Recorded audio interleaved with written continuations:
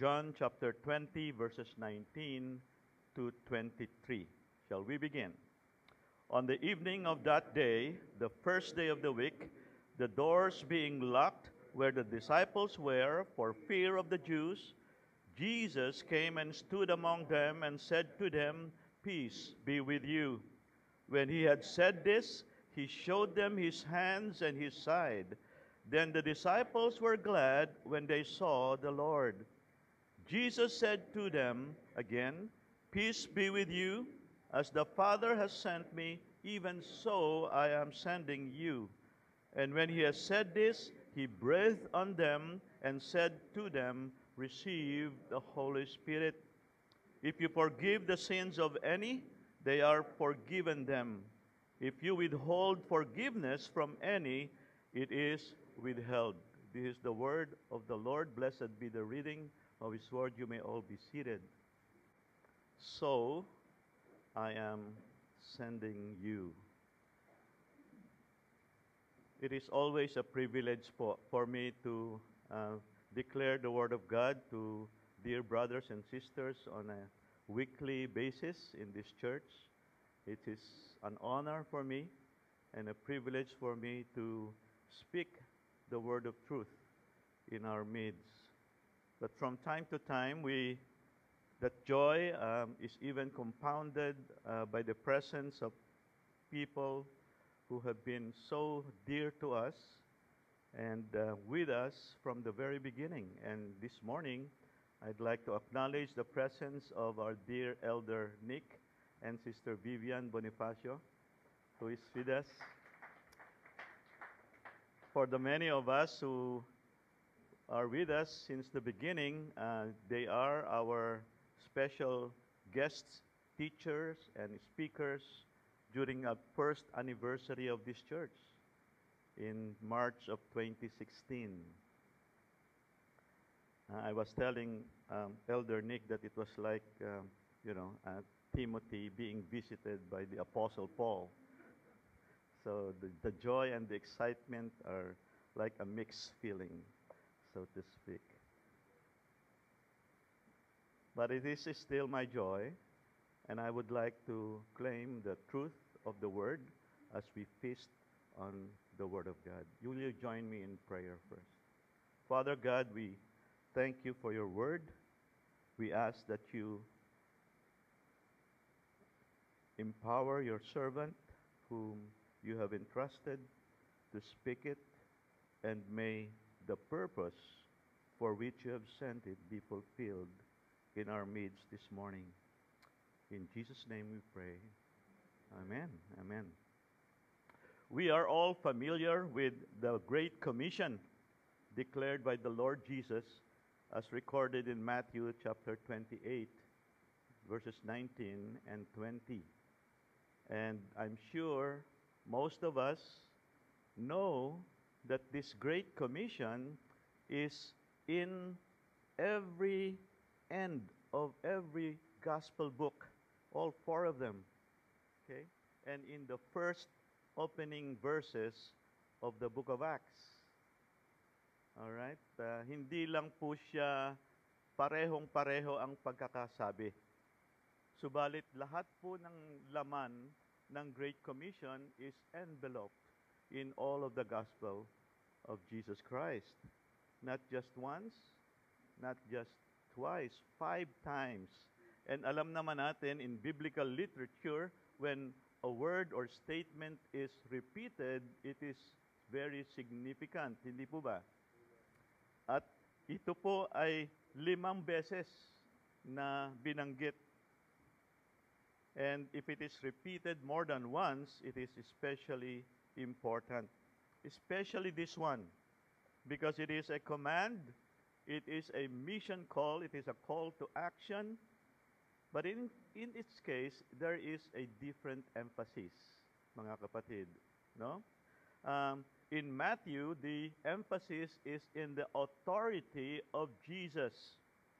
The authority of Jesus. Um, if you go back to the Gospel of Matthew in chapter 28, we see that he is together with uh, many of his disciples, almost 500 of them, standing on top of the mountain in Galilee, presumably overlooking the horizon, and he said, All authority in heaven and on earth had been given to me. Go therefore and make disciples of all nations, baptizing them in the name of the Father and of the Son and of the Holy Spirit. Okay? The emphasis is on the authority of the Lord Jesus Christ, and rightly so, because Matthew was supposedly written originally to the Jewish people. And since these Jewish people honor and um, almost uh, consider Abraham as the founder of their faith and the um, doer of all things, Matthew is telling them, no, he is greater than Abraham, he is greater than Moses, he is the chosen one, the long awaited Messiah. All right? In Mark, the emphasis is on the final judgment. Mark being um, written, addressed mainly to the Romans, he said, Whoever believes and is baptized will be saved, but whoever does not believe will be condemned. As we have been studying in the Gospel of John, the Romans are very um, uh, polytheistic. They, they do, uh, um, they worship a lot of gods, and they worship the emperor. All right? Uh, and, and, and they have so many superstitious beliefs and, and tradition. And in Mark, he is telling the audience that Jesus is the worker of miracles, all the signs and wonders, and he is the true God. He is the true God, not your emperor, not your traditions. In Luke, the Great Commission is presented as a fulfillment of prophecy. It is written that is thus it is written that the Christ should suffer on the third day, rise from the dead, and that repentance and forgiveness of sins should be proclaimed in, his name to all nations, beginning from Jerusalem. You are witnesses of these things. The, the Dr. Luke that we know is very meticulous, very methodical in his system of writing, wrote to the intellectual Greeks.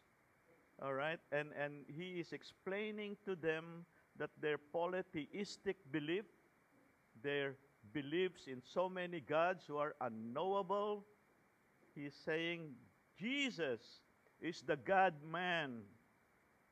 This is how he came to us, and he is the true God. In the sequel to the book of, to the Gospel of Luke, the book of Acts presents a program of world evangelization.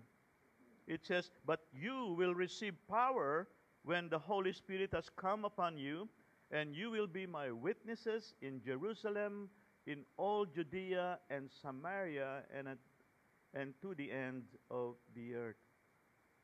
Mga kapatid, iba-iba po ang emphasis, pero iisa po ang mensahe. Jesus has prepared us. The Holy Father called us. The Spirit empowers us. And now we have a job to do. We have to proclaim Him, the triune God is sending us for this mission. And these commissioning words are drawn from a variety of circumstances and were spoken to a variety of people. And yet, in John's version, it is unique in the sense that it is probably the first time this command was ever expressed by Jesus to his disciples.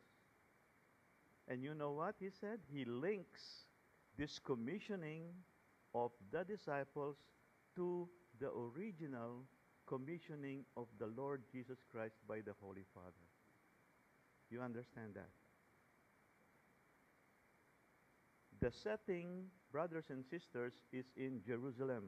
It's still on the day of the resurrection, in the evening of the resurrection, in a room that uh, some theologians would say was the same room where they had their Last Supper just three days before. because most of them are in Galilee. They are uh, originally from Galilee. Uh, so most probably the room that they had during the Last Supper, the washing of the feet of the disciples, is the same room where they were in, except that it was locked. Right? Just three days before, while we've studied that uh, while John and Peter have explained to the disciples the fact that they that they see the undisturbed grave clothes at the tomb and they believed in the resurrection and and while Mary Magdalene has told them that Jesus has told her and she has seen Jesus these things these disciples you have to remember these disciples have been so perplexed so fearful, so anxious by what happened during that uh, previous two days. And that explains the locked doors because they are fearful that they will get arrested. The, that, that, the, the truth that uh, the reality of the resurrection of Jesus is still very much a, a um, it, it, it hasn't emerged fully in them yet. Okay? And, and that's the reason why the door are still locked and there are still fear of being arrested. And then suddenly, the glory of the Lord came upon them. The Lord Jesus Christ is there visibly in the midst of them. And he introduces this commission, this great commission, with the Lord quieting their hearts from anxiety and confusion with a familiar Hebrew greeting, Shalom. Shalom. Peace be with you. In the original Old Testament context, Shalom basically means well being in its fullest sense. Ano po? It gathers all the blessings of the kingdom of God. Shalom is life at its best under the gracious call of God. And Jesus, knowing the hearts and the anxiety of his disciples during that night, used it as an Easter greeting. It represented a truly authentic bestowal of peace in the history of the world. Precisely because he brought the kingdom of God into a realization by his death and his rising again. And now, the word shalom, peace be with you, becomes a realizable blessing. Right? Dati, perfunctory lang po. Oh, peace be with you, peace be with you, no? Pero now, the Lord spoke it in a realizable blessing. It is like a, a, uh, an, a complement of the last words that he uttered before he gave his last breath on the cross. He said, It is finished. And then these words is like a complement of that. Peace be with you. And that's why it is no wonder why the Apostle Paul includes that word together with the word grace in the greetings in all of his epistles. And to further reassure the disciples that he is truly the Lord himself, Jesus showed them his hands and his side in verse 20. And the effect of that is very much predictable. They were really overjoyed. The disciples were glad when they saw the Lord. It is indeed Jesus Christ. Truly the gladness of an Easter joy. Mga kapatid, no? Kaya ni-request ko po yung first song. You turned my mourning into dancing. And that's exactly what happened to the disciples that night. They were so anxious. They were so fearful. And Jesus came, gave them the most peaceful greeting of uh, the Jews, shalom, and then showed him his hands and his side. Mga kapatid, no? Yung lahat nung yung takot at uh, uh, pangamba ng mga disciples during that time would have been replaced by joyful dancing. I, I would say it is no exaggeration that they truly danced during that time. right? Jesus, however, has not come merely to assure them of his conquest of death and the triumph of his kingdom. He came also to instruct and prepare them for what lies ahead. Mga kapatid, the mission about which he has taught them at the upper room is now eminent. It is forthcoming, and he sets them apart for it in a solemn moment of commissioning when he said, As the Father sent me, even so I am sending you. He, he was actually echoing the words that he uttered in his high priestly prayer in chapter 17, verse 18 As you sent me into the world, so I have sent them into the world. This is the form by which the Great Commission appears here in the Gospel of John. As the Father has sent me, even so I am sending you.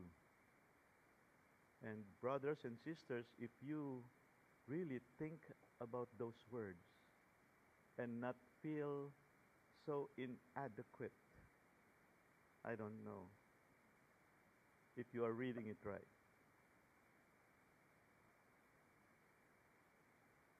How can I possibly be out there doing the things that the Lord is given me in the same manner that Jesus was sent by the Father to this earth. How can I? No? Ang hirap po niyan. Imposible po yan. Jesus is God in human flesh. I am not. Jesus never sinned. I often sin. Jesus walked in an unbroken, intimate relationship with the Father. I do not. And Jesus never made mistakes. I do it all the time, right? So, how can I go out there and do the things that the Lord Jesus had told me to do, just like as He has, the Father has sent Him to do? No? Para pong si Apostle Pablo, who can, who can be sufficient to do these things in 1 Corinthians chapter 2.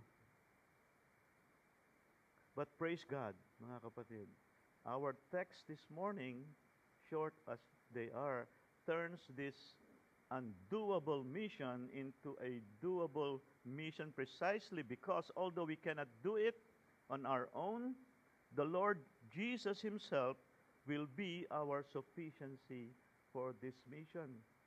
Just like what Apostle Paul said after saying, Who is sufficient for all these things? He followed it up in chapter 3 when he said, Not that we are sufficient in ourselves to claim anything as coming from us, but our sufficiency is from God. Amen. I like Brother Nick talaga. So he compliments me uh, a lot. No? Thank you, sir. Our Lord gives us five ways, mga kapatid, gives us five ways that He equipped us so that this impossible mission becomes doable. And more than just doable, it will be successful, right? Because the risen Savior has called and equipped us, we can confidently co- proclaim the gospel to all people. And the first thing that He empowers us with, that He equipped us with, is peace. Our risen Savior has given us peace. We read that in verse 19 and in verse 21. Mga kapatid, keep in mind that these men who had led um, or had been following Jesus for three years all fled in fear for their own lives when Jesus was arrested. Peter himself denied the Lord three times. They all doubted the initial reports that Jesus has resurrected, even. Okay? It would certainly be understandable if Jesus came in that upper room, that locked room, and say, See, I told you. But he did not say that. He, rather than rebuking them, the Lord graciously extended to them and underscored the peace to them. That's the first power that He has given to us. Peace with God is foundational for our mission for Him. We cannot begin to serve the Lord unless we are first reconciled to Him through the peace that Christ accomplished on the cross. Before you believe in Christ, as Pastor Jared mentioned to us in, in the uh, opening uh, prayer, we are alienated from God. We are hostile to God. We don't submit to Him in Romans chapter 8. But when you trust, when we trust in Christ, we enter a new relationship of peace with God. Then and only then God appoints us to be ambassadors for His mission of reconciliation to this world which is hostile to toward Him. Okay? Not only does Christ give us a peace of God or peace with God through His blood, but He also gives us the peace of God through His abiding presence with us as we seek to accomplish the mission statement that He has given to, to us. As Jesus concluded the Great Commission in Matthew 28, He gave the assurance and say, I am with you, what? Always. Right? I am with you always, even to the end of the age. As we proclaim the gospel to this hostile world, the Lord's presence gives us the peace of God which surpasses all understanding. Philippians 4 7. And the peace that the Lord gives also extends to our relationships with one another. No? Um, it, it, it's, it's sad that uh, one of the experiences I had when we were working in Vietnam, so many of the missionaries were there, and a lot of them come back home not because they they were tired of preaching the gospel they were tired of just the people criticizing and um, making uh, things very difficult for them okay? Fellow workers in the church even churches have conflicts. Amen? Churches have conflict internal conflicts. A- and we need the peace of the Lord extended to our relationship with one another. And when churches get into internal conflicts, our witness is negatively affected. And that's why it makes it makes all the more difficult for us to witness into the world because they see us fighting against each other. That's why many passages in the New Testament exhort us to work a peaceful relationship with one another. As Paul said with reference to the deep divide between the Jews and the Gentiles in Ephesians chapter 2, he said, For he himself is our peace, who made both groups into one and broke down the barrier of the dividing wall. Christ has given us peace with God, the peace of God, and the peace with one another. Oh, so that, that, that should be enough to carry our mission, right? That's the first thing. The second thing is that our recent Savior showed us convincing proof of himself in John chapter 20, verse 20. Look again at your bulletin or your Bible in, chap- in verse 20. When he had said this, he showed them his hands and his side. Then the disciples were glad when they saw the Lord. They were glad to see that indeed Jesus resurrected from the grave. And during our home fellowship group this week, uh, one of our um, attendees asked the question, How will we look like when we have our own resurrected body? Huh? Huh? Um, gone are the warts and all the blemishes and the imperfection of our bodies. No? And, and Kuya Lito said, I'd like to be in my 25, um, in my age 25 when I'm resurrected. All right? Sab, kasi yun daw yung pinakagwapo niyang uh, version of himself, no? Yeah? But, but when I'm studying this text, I said to myself, huh? wow, yeah. We will all be unblemished and untarnished, warts and all gone, all the pains gone. And you know why? Because the Lord Jesus is still carries those scars on his hands and on his side. Even now, his resurrected body still show the nail-pierced hands and his side, seated at the right hand of the Father, interceding for us.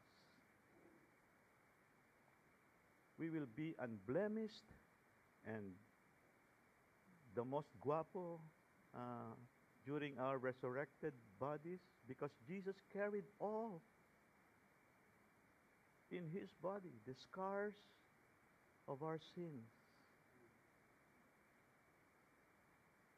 On that first resurrection Sunday, Jesus showed his hands and side to convince them of the truth that he was risen bodily.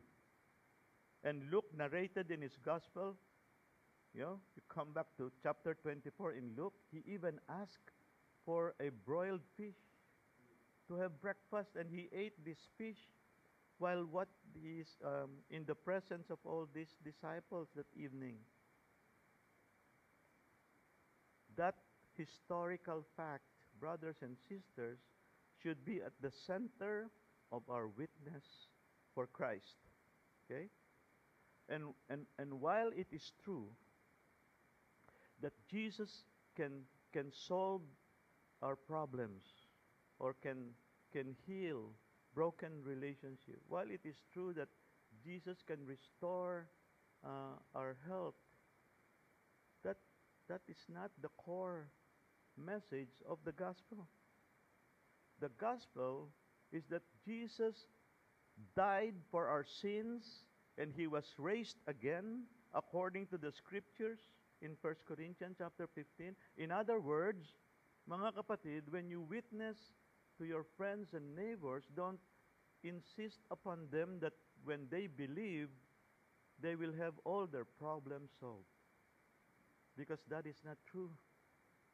Sometimes in His sovereign will and power, the Lord doesn't heal. So what happened? Bagsak na yung paniniwala nila. Ano po? Believe in Jesus because you are a sinner and He is the only Savior and He is risen from the dead and He is coming again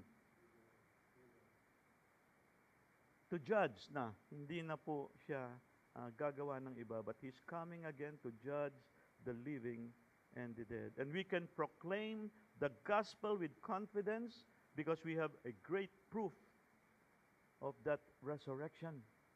Because He resurrected, we will also be. Okay? And there is proof of that. It is a historical fact. The third thing that the Lord empowers us in this text is that the risen Savior gave us the same purpose as His. In John chapter 20, verse 21, He said, Peace be with you. As the Father has sent me, even so I am sending you. As I mentioned earlier, this, this commissioning actually applies already what the Lord has already prayed previously in chapter 17 in his highly priestly prayer. As you sent me into the world, he's praying to the Father, I also sent them into the world. John's Gospel frequently emphasizes the theme of Jesus being sent by the Father. Yan po yung emphasis ng Panginoon. I am sent by the Father to do the will of the Father. I am sent by the Father to speak the words of the Father. And I stand before you to perform the works of the Father. All of this in the whole Gospel of John, which we have studied before. He was sent to bring salvation to the world. Jesus taught us to pray. Matthew 6:10 Your kingdom come your will be done on earth as it is in heaven. He came to establish the Father's kingdom by bringing people under his lordship to do his will and by sending us in the same way that he was sent you know what his purpose becomes our purpose we should live in obedience to Christ and teach others to do the same. That is why we emphasize walking like Jesus walked. 1 John 2 6. Okay? But often, churches collectively and individual lose sight of our purpose. We are always distracted by other things. Okay, so many things to be done and for the sake of convenience, okay, we, we, we don't consider doing as the Lord has done. I was thinking it would have been a lot easier if we instill a policy in BCI Marikina eh, that we only accept Christian children and children of Christian families. That will be convenient that that would be a cop out, mga kapatid. We have always believed that the school is an extension of the mission of CBCM. Without the church mission, BCI will lose its purpose. And that is the reason why we continue to welcome students and uh, children of unbelievers in our, in our school. And yes, it would give us the risk of danger of having unbelieving children and or unbelieving parents who may knowingly or unknowingly influence our community with their foul language from time to time or unchristian behavior but that's our mission and we exist because BCI wants to nurture and inspire our children to become the best versions of themselves as God wants them to be. And, and, and what is that? What is that best, best version? It's Christ likeness, hindi po ba? Yan po yung mission ng school and that is also the mission of the church. If we as a church of Jesus Christ here in Community Bible Church, if we decide to ban anyone who does not subscribe to our Reformed doctrines, or if we make them feel unwelcome because we are afraid that they will contaminate the church, how, how then will these people see what Christ likeness would be? What is the use of our intensive training of basic discipleship and basic Bible doctrines and basic leadership if we avoid contact with lost people?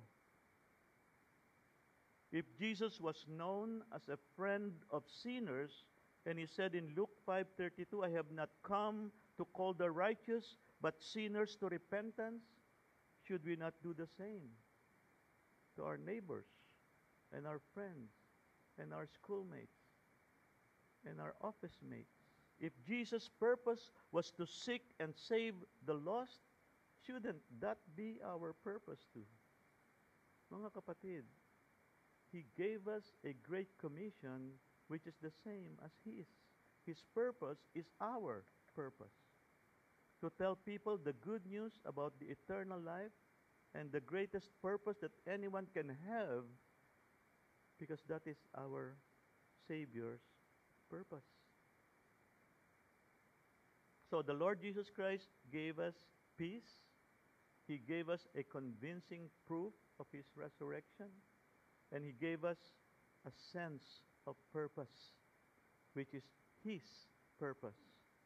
Right? The fourth point is that the risen Savior has given us great power in verse 22. And when He had said this, He breathed on them and said to them, Receive the Holy Spirit. We have always, time and again, emphasized that to attempt to serve the Lord in any capacity, but especially in proclaiming the gospel to the lost, doing it without relying on the power of the Holy Spirit would be futile, would be meaningless, would be without power. Okay? As Zechariah 4 6 reminds us, not by might nor by power, but by my Spirit, says the Lord of hosts. Some Bible scholars um, I read in the commentaries re- wrestled with the exact meaning of this verse in the light of a subsequent outpouring of the Holy Spirit on the day of Pentecost. Sabi nila, bakit may ganun? Eh, ginawa ng Panginoon yan collectively um, on the day of Pentecost. Uh, well, uh, there are many theologians who are not um, agreeing, as they always do, uh, on, on verses of the of a scripture like this. But I tend to believe this event is not inferior to Acts chapter 2. It is not just a symbolic effect on the disciples that evening. Kung titingnan po natin, I, I, I believe this action of the Lord Jesus Christ here in this particular evening is an impartation of the Spirit, of the Holy Spirit to strengthen the disciples in the coming 40 days of His teaching. Yan po yung paniniwala ko. It is an impartation of the strengthening of the disciples to the next 40 days that Jesus would teach them and clarify to them the truth that he had been expounding to the disciples, particularly to the 12, during his three years of earthly ministry. Huwag po nating kalilimutan, even though he has been teaching them for three years, many of the things that he has discussed and taught them about, particularly heaven and eternal life, has been so vague to them. But in this last 40 days, 40 days of his stay, you know they understood. We know that some of them even wrote it in the New Testament. Hindi po ba? Clearly. And I believe that that's the reason why the, the Lord Jesus Christ gave them an impartation, a special impartation of the Holy Spirit for them to be prepared to hear once again and clarified once again on the things that the Lord Jesus taught them. This is not a secondary or inferior uh, blessing. You also remember that this, this is a time when the, the, the disciples would be revived after their failure. Remember when the, the Lord Jesus Christ was arrested, all of them fled. All of them uh, went away. They did not show themselves except John. Prior to resurrection, they all succumbed to failure. And they all felt, with the exception of perhaps a few, that they all failed the Lord.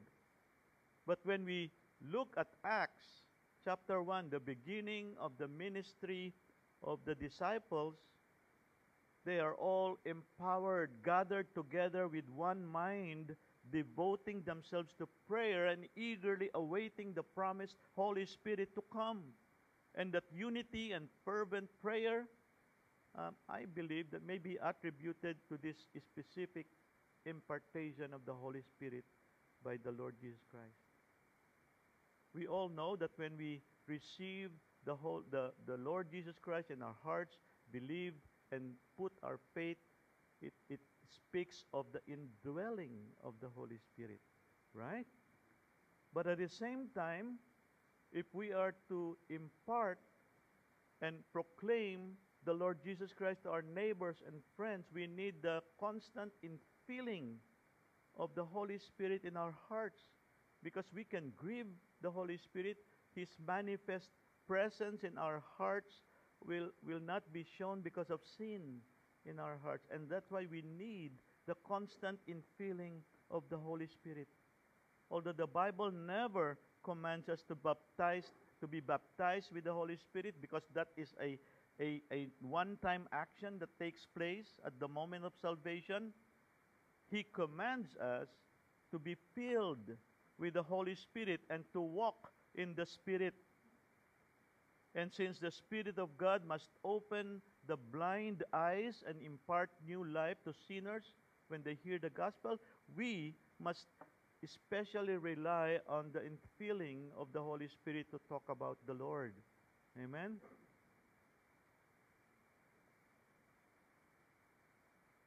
So the Lord Jesus Christ is, has equipped us in proclaiming the gospel by giving us his peace, by giving us a solid proof of his resurrection, the purpose for which we are existing in this world, and a great power by the indwelling of the Holy Spirit. And lastly, the risen Savior gave us an unmistakable message. Look again at your Bible in verse 23, chapter 20 of John.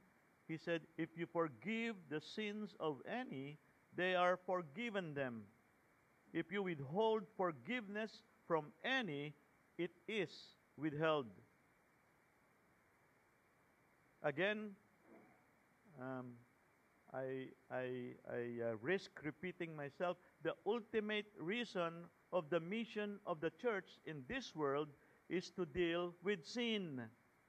We don't excuse ourselves in preaching about sin dito sa ating church. Romans 3:23 for all have sinned and fall short of the glory of God. Jesus died to save us from just wrath of God against our rebellion and our sin. Let us not lose sight of this intended goal of the verse. Mga kapatid, no? Yan ang intended goal of that verse when the Lord said that. Kaya lang po, um, dito sa ating uh, community, uh, marami pa po talaga yung uh, mga Katoliko, ano po, at, at um, in fact, most of all, most of us, if not all of us, came from that that um, that um, organization, that religion. Uh, more than 80% of the Philippines is still Roman Catholic. The problem was that the Roman Catholic Church used that verse, John 20, 23, to support their beliefs of some false doctrines that they have instituted and which I need to address this morning also. They interpret this verse, verse 23, to mean that ordained priests have authority to forgive or retain the sins of people who come to them in secret confession, confessional box, and penance. Ano po, yan po yung turo sa atin ng ating uh, Roman Catholic Church. And, and most of us know that they base this doctrine on three beliefs. One, there is an apostolic succession in the Roman Catholic Church through Peter and the Pope. Number two, there is a distinction between the clergy and the laity. And number three, which is the worst um, teaching of all, is that in order to be forgiven of sins, you have to do penance. And you can, you can only do that um, with a priest, with an ordained priest. And he will give you, um, you know, seven, um, the Lord's Prayer, recite Hail Mary for ten times because your sins are many. Things like that. Let, let, let me um, clarify why, why we believe that these principles or doctrines is, is false. Okay? Just, just to make it clear for many of us who still have been um, in the um, in, in our system is still our beliefs in the Roman Catholic Church. First, there is no biblical warrant for apostolic succession. None. None at all. Although we know in Ephesians chapter 2 that the Lord Jesus Christ has given authority to the apostles to found the church.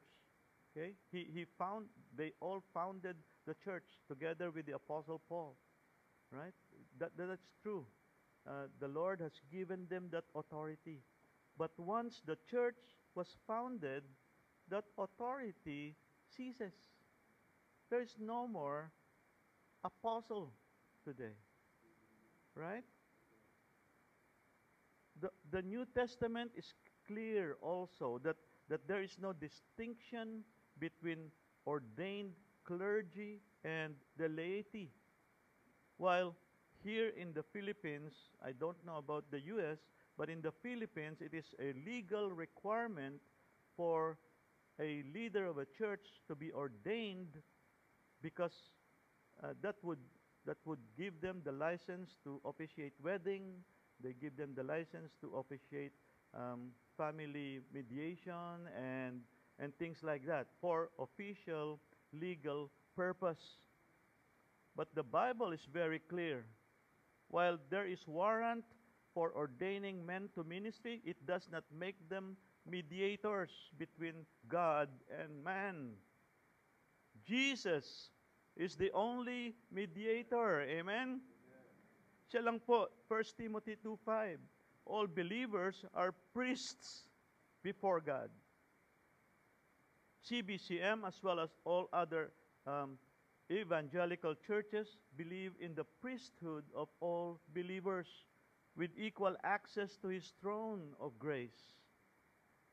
Otherwise, there will be no 1 Peter 2 9, where he has declared us to be a chosen nation, a royal people, a holy priesthood, a people for his own possession, who are called out of darkness into his marvelous light. We are all priests. I mean in the in the sense of, the word. Although in the Philippines talaga pong may mga legal prerequisites that had to be fulfilled before you can do certain things. But that's only for legal. In the eyes of God, all of us are priests. Number three, only God can forgive sin. Ano po? Maliwanag na maliwanag yan. When, when He forgive our sin the instant that we repent and believe in the Lord Jesus Christ, automatic po yun. Ano po? Pinagkalooban tayo ng Panginoon ng kapatawaran sa ating mga kasalanan. And worse, to add penance as a necessary thing for forgiveness is like adding works to the salvation, the free grace that the Lord has given us in His finished work on the cross. As we have repeatedly told our people, there is nothing, absolutely nothing that we have contributed to our saving uh, grace. It is all Jesus Christ. From the calling, from the election, up to the justification, up to the redemption and the regeneration, it's all by God. The triune God did it all. We did not do anything else, right? Amen. And lastly, there is no example in the Bible of the apostles forgiving or retaining the sins of anyone. This is very important, brothers and sisters, because this is a, um, a very important principle in Bible interpretation. There is no instance in, in the Bible that anyone has ever forgiven the sins or even retained the sins of anyone. And, and that's the example that I would like to, to uh, give to you is the example of Acts chapter 10, when Simon the magician followed the group of Peter and seeing them doing all these works of healing people and, and declaring forgiveness of their sins. Oh, he said, My goodness, I would like to have that also. And although he, he is already in, in the Bible, you can read that he was already a believer. No, but believer in the sense of believing the works that disciples have been doing. And so what he did is he is offering money. He offered money to Peter in order for him to get that same gift. And Peter rebuked him. He said, You are still in your sins. And that proves to us that he was not a believer of Jesus Christ yet. Because Peter declared that you are still in your sins. Okay? And maski po si Apostol Pablo, uh, the great apostle of the New Testament, no? Ang galing-galing po niyang mag-mentor ng kanyang mga uh, protege. And that's why I, men- I mentioned earlier that I, I'm like um, Timothy uh, being visited by Paul. Right? Because Paul, if indeed there is a command to him to forgive and to retain the sins of people, then he would have told Timothy and even Titus to do the same. Because he, if, if not, then he is missing a lot of the commands of the Lord, an, an important one. Right? But he did not do that. Did not. There was no record in the Bible that any apostle has given forgiveness and retention of the sins of anyone. So, the correct meaning and application for us of this verse, I believe, is this. Based on what Jesus Christ our Lord has said in the words of His scriptures, we, followers of Jesus Christ, we have the authority to proclaim to those who repent and to those who believe in Christ that your sins are forgiven. We, we have the authority to proclaim that. Or if a person hardens his heart and refuses to believe, we can solemnly proclaim to them, Your sins are still in there. You are still in your sins. Okay? In short, we declare it as truth we proclaim the authority of the Lord to forgive or retain our sin. We do not grant or retain forgiveness. Amen? We don't do that. This act is solely the prerogative of God, which He clearly said in His Word. No? Yan po ang talagang katotohanan yan. So our conclusion is that our mission is to proclaim the forgiveness of sin in Jesus Christ to all, to all who will believe. And that mission is possible, although it is impossible for us in our own strength, it is possible because the risen Savior has equipped us with the peace, a solid proof that He is indeed alive he has given us the purpose, which is the same purpose as we have. He has given us the power of the Holy Spirit to minister to unregenerate people. And lastly, He has given us an unmistakable message. That same, that same equipping that the Lord Jesus Christ imparted to the disciples on the evening of the first resurrection Sunday is given to us today. We have that same equipping. We cannot keep the good news to ourselves, brothers and sisters. We cannot. The very purpose by which the Lord Jesus Christ has given us those equipping is for us to put it into practice and to put it into use. We have a job to do we have a job to do. As the Father has sent me, so I am sending you. We thank you, Lord, for such a wonderful assurance. And we ask that you impart to us the truth, not just in our heads, but in our hearts. And we thank you. We thank you, Lord, for that wonderful gift of eternal life. Thank you, Lord. In Jesus' name we pray. Amen.